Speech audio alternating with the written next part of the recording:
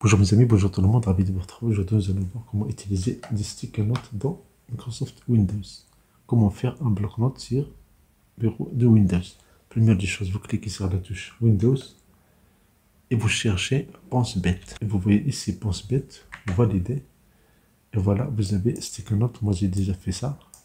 J'ai déjà fait un exemple ici. Vous voulez avoir une autre couleur. Vous cliquez sur ce menu-là, trois points et vous choisissez les couleurs. Voilà. Vous voulez créer une autre, c'est la même chose. Vous pouvez changer sa couleur.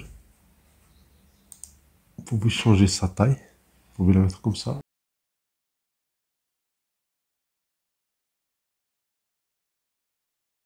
Supposons que vous avez travaillé sur trois projets et vous avez terminé le premier projet. Vous pouvez, le, vous pouvez même le barrer. Voilà, projet 1 est terminé.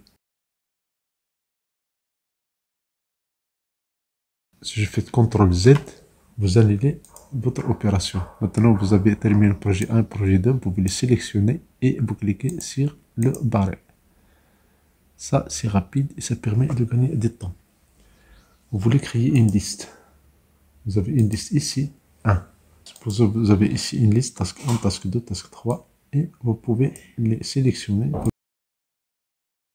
Vous pouvez ajouter une image, si vous cliquez sur ce bouton-là, et vous ajoutez l'image correspondante.